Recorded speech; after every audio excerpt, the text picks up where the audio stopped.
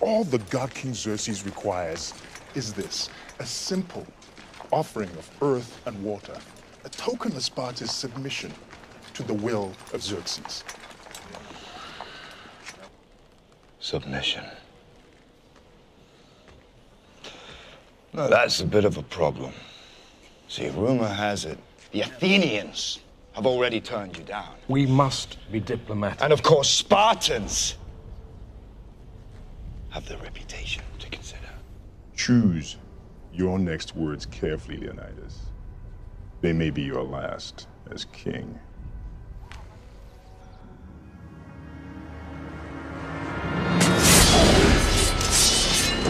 Madman! You're a madman! Earth and water.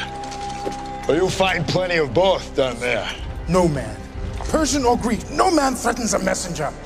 You bring the crowns and heads of conquered kings to my city steps. You insult my queen. You threaten my people with slavery and death.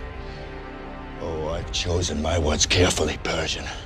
Perhaps you should have done the same. This is blasphemy. This is madness. This is Sparta!